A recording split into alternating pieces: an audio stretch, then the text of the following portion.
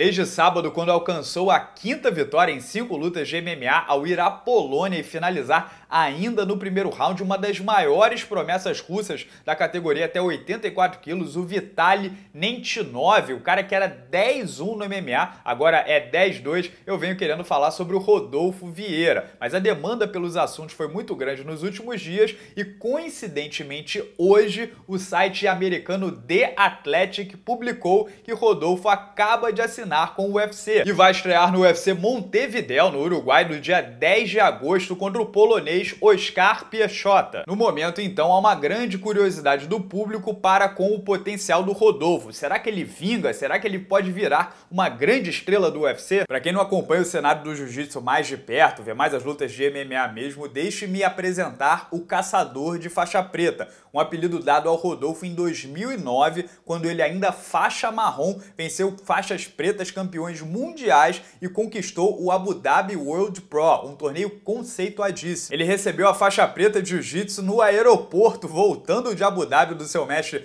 Júlio César, da GF Team, e a partir daí começou um verdadeiro reinado de terror na graduação máxima. O saldo final é que, além de campeão europeu peso absoluto, campeão pan-americano peso absoluto, Rodolfo Vieira é tetracampeão mundial de jiu-jitsu na faixa preta em duas categorias de peso diferentes, sendo que em 2011 ele ainda foi campeão absoluto, tendo finalizado com um armlock ninguém mais, ninguém menos do que Marcos Bochecha, o maior competidor da história do jiu-jitsu, com sete títulos no peso e seis absolutos. Ah, em 2015 ele também foi campeão do ADCC, o maior torneio de submission do mundo. Meus amigos, não é nenhum exagero dizer que na arte suave, Rodolfo Vieira é um dos maiores maiores de todos os tempos. Na faixa preta de pano, se você tirar o primeiro ano dele, em mais de 50 lutas, ele só perdeu para o Bochecha e nunca foi finalizado. E considerem aí também que o Bochecha é muito maior do que o Rodolfo. E sim, dependendo do ângulo que você olhar, o Rodolfo será o atleta mais condecorado do jiu-jitsu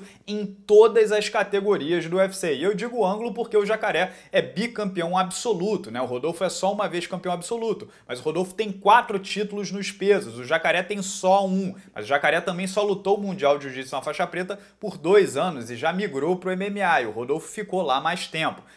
Então, algumas considerações a fazer, mas o meu ponto é que falando de luta agarrada solo, considerando ainda que ele não vai lutar com o Jacaré, porque são amigos, treinam juntos, inclusive, às vezes, lá na Fusion Excel, na Flórida, o Rodolfo Vieira, na categoria até 84 quilos do UFC, será o topo da cadeia alimentar. E tem mais um ponto a favor do Rodolfo, que muita gente do meio do jiu-jitsu acredita que ele vai estourar no MMA exatamente pelo estilo de jogo dele, porque no jiu-jitsu tem muitos caras multicampeões que são excelentes guardeiros, que ficam muito confortáveis com as costas no chão, fazem birimbolo, meia guarda profunda, alguns lances que expõem muito muito o seu rosto a golpe. E no MMA a gente sabe que a dinâmica é completamente diferente e qualquer golpe limpo na cara muda tudo. Você pode ser nocauteado, ficar grog, entrar em piloto automático. Mas o Rodolfo não. O Rodolfo é queda, passa e pega. Ele é um excelente judoca. No jiu-jitsu é muito difícil ele acabar por baixo, a não ser quando ele puxa para guarda, por exemplo, ele pegou o Léo Leite, que é da seleção brasileira de jiu-jitsu, e ele puxou para guarda e raspou, a guarda dele também é muito boa, mas ele prefere ficar por cima. E por cima a gente está falando de um cara que para muita gente é o maior passador de guardas da história do jiu-jitsu. Quem encarou o Rodolfo de frente sucumbiu à pressão do seu jogo. Mas como tudo na vida tem dois lados, vamos agora a algumas ponderações. Sucesso no passado não é garantia de de sucesso futuro. Quedar todo mundo no jiu-jitsu não garante de nenhuma forma que você vai quedar wrestler All-American, wrestler olímpico, judoca condecorado e por aí vai. Número 2, deixando o Vitaly Nentinov, o cara que ele venceu no último sábado, que realmente era um adversário duríssimo e como o próprio Rodolfo chamou, era o maior desafio da sua vida, as suas quatro lutas anteriores no MMA não foram nem um pouco impressionantes todos os seus adversários tinham cartéis negativos ou empatados. É claro que vencer e principalmente adicionar quilometragem é o mais importante, mas ele sofreu bastante nesse processo. Chegou a levar a joelhada de encontro que causou corte profundo e poderia ter lhe custado a luta se ele não tivesse resolvido na sequência. A sua segunda atuação foi sofrível no Chotô Brasil contra um cara que pegou a luta em cima do laço, estava fora de forma, é um striker, o Rodolfo simplesmente não conseguia botar o cara para baixo quando botava para baixo, não mantinha ele no chão e não conseguia finalizar. Finalizou faltando 13 segundos, uma luta que estava 1 a 1. Ele havia perdido o segundo round. Alguns podem dizer que eu estou focando no copo meio vazio, mas eu garanto que não é o caso, até porque eu sou um grande fã do jiu-jitsu do Rodolfo. Acho só que temos que gerenciar, conter as nossas expectativas, porque no MMA ele é apenas um iniciante, está engatinhando numa modalidade cuja dinâmica e o jogo é completamente diferente. Ele tem dois anos e meio dedicados a isso. Fazendo uma comparação grosseira aqui, o Israel Adesanya, que muita gente diz que ainda é cru, que é verde, que tem muitos buracos no seu jogo, que se pegar o grappler, o wrestler XYZ,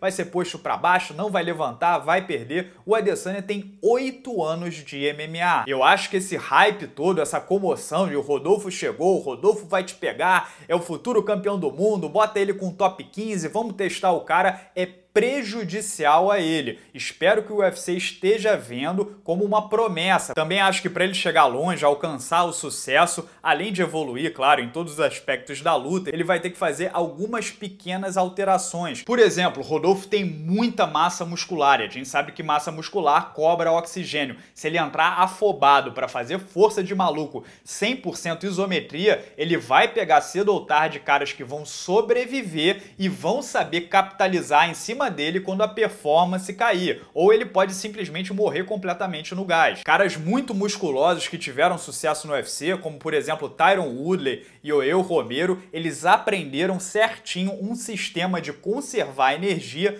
escolher a hora certa e explodir. Sobre a trocação, eu nem preciso expandir muito, né? O que der para melhorar, claro que vai melhorar. O Rodolfo não vai virar um striker, um nocauteador. Espero que esse não seja o seu plano A. Mas se ele tiver uma mão pesada, um, dois, três golpes que possam incomodar os adversários em certas situações, muito bom. Usar o boxe, o muay thai ou até o karatê para tentar abrir pequenas brechas, fazer rachaduras na armadura do adversário e deixá-lo vulnerável às entradas de quedas. Pega o próprio Charles do Bronx, por exemplo, depois de muitos e muitos e muitos anos no UFC, agora ele tá começando a ser chato em pé também. E quando a trocação não é um porto seguro, se chega nesse ponto pro Rodolfo, aí sim a gente tem um cara com nível de campeão do mundo. Gostaria muito de ver também também o Rodolfo se aproveitando de um setor extremamente subutilizado no MMA. As pernas, vai para o joelho, vai para o calcanhar, vai para a chave reta. Por que ignorar metade do corpo dos adversários? Desde o toquinho a gente não vê excelentes leg locks. Acho sim que o Rodolfo está chegando um pouco cedo demais no UFC, ele tem apenas 29 anos e muita margem para crescimento Podia ficar mais um, dois aninhos até chegar mais pronto, mas eu entendo que para ele deve ser angustiante estar tá lutando em eventos menores. Ele que estava no topo do jiu-jitsu poderia ter patrocínios, aulas, seminários, academia, premiação, poderia estar tá ganhando mais dinheiro, tá até tendo uma vida confortável. Ele deu um passo atrás, deve estar tá até aliviado de passar a ter a exposição do UFC. O próprio nome que tem uma base de fãs já consolidada e o currículo forçam essa contratação prematura, né? O UFC não pode deixar ele dando sopa, fazendo mais uma, duas, três, quatro, cinco lutas, que nesse meio tempo o Bellator, o NFC ou qualquer outro concorrente vai chegar e tentar seduzir o atleta com uma oferta. É claro que na vida não dá para garantir nada. Eu conheci um treinador de boxe que dizia que ser nocauteado não é para todo mundo e o Rodolfo cedo ou tarde, nem que seja dentro da academia, terá momentos difíceis, né? A gente nunca sabe ao certo como um ser humano pode se recuperar ou não, mas eu acho que se não pularem etapas, se não rolar um atropelamento, se derem tempo ao tempo, principalmente nesse início, entendendo que o cara é um atleta em desenvolvimento, o Rodolfo tem tudo para dar muito certo dentro do UFC, porque trata-se de um dos maiores trabalhadores que vocês vão ver no esporte. O Rodolfo é da classe do Patrício Pitbull, do Rafael dos Anjos, caras que não tem feriado, não tem fim de semana, não tem férias, não tem dor de dente, não tem carro enguiçado, eles estarão na academia duas ou três vezes por dia, faça chuva ou faça sol. O Rodolfo é um cara que luta sábado e segunda-feira ele tá treinando em dois períodos. É um obsessivo e ninguém chega no patamar que ele chegou no jiu-jitsu sem ter essa característica. Como diziam lá no filme do John Wick, Rodolfo Vieira é um homem de foco, de força de vontade, mas sem oba-oba e sem expectativas irreais. O próprio Piachota é um cara que tem mais do que o dobro das lutas profissionais do Rodolfo, tá indo para sua quarta luta no UFC, ou seja, já estreou, já passou toda aquela ansiedade, o estômago embrulhado de estar tá lutando no maior evento de MMA do mundo. Então eu acho que essa estreia já é uma luta extremamente complicada para ele. Mas agora também não tem mais volta, só resta ao Rodolfo matar um leão por dia e fica aqui o meu desejo de boa sorte. E como sempre, pessoal, essa é apenas a minha opinião, os meus dois centavos. Vocês podem pensar diferente. O que vocês acham sobre o Rodolfo Vieira no UFC? Comentem livremente aqui embaixo no vídeo, se inscrevam no canal para não perder nenhuma resenha. E como sempre, muito obrigado pela audiência. Um grande abraço e até a próxima.